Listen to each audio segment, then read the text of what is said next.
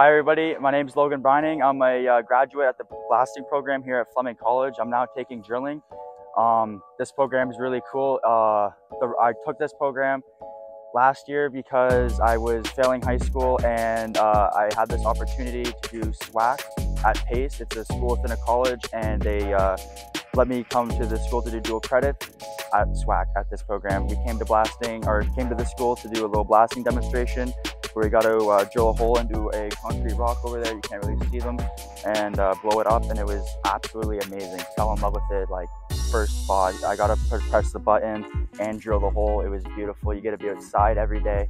Um, anybody who wants to take blasting, if you like, you like being outside, you like being dirty, you don't want to sit in an office all day, you like loud noises. Blasting's the perfect plumbing program for uh, students who like being outside. Like, get a there's a lot of job opportunities working in a mine, working in the middle of BC, doing whatever you want. And you get to handle explosives. If you're not interested in blasting, uh, after taking blasting, there's a different pathway called drilling, and it uh, you don't have to take first semester of drilling if you take blasting because they're kind of the same program.